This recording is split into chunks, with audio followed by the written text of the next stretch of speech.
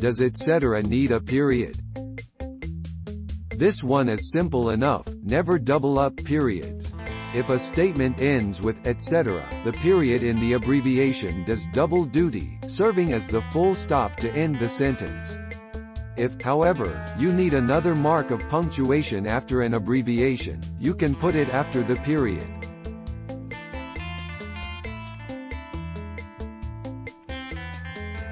Thanks for watching. Please subscribe.